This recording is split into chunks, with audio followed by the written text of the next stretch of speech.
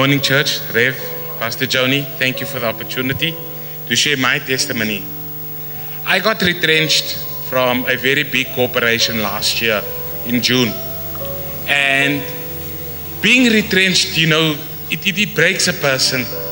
But, you know, having the Crystal Church brought a different hope, it brought a different light. Having people pray for you and say, You're going to make it, and you're going to make it strong. You know, it, it, it, I, I, brag about my church, even in the workplace. You know, during the fast we started, and that Monday I, I, I woke up and I said, God, I'm going to give my all. I'm going to do this fast with wisdom, with understanding, but with faith, Lord. I'm going to believe. And you know, during the fast, you know, the devil tried to break me. He did everything in his power. You know, the, the Monday the 27th, when we when the real fast started, you know, daar niks was nie. You know, and I said, God, I am going to give my everything. I put in, and you know, that Monday night we we had a leadership meeting, and Sister Deline actually prayed for me specifically, and she said, Dwayne, today we're going to pray for a job for you. And I said, Sister Deline, I receive it by faith and I believe it. And you know, we prayed and she said, Dwayne, you gaan huis toe gaan and you're going to have an email when you get home. And you know what? I got home and there was an email on my tablet. Oh, people, God can move things. You know, the Tuesday, I was in and out with a recruitment agency, Rev. The Wednesday, we came to church. I said to my wife, Hey, babes, it's past seven.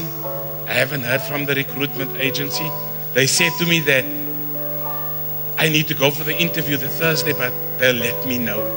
You know, as I walked into the church's doors, my cell phone rang at 7:30 in the evening, just before church.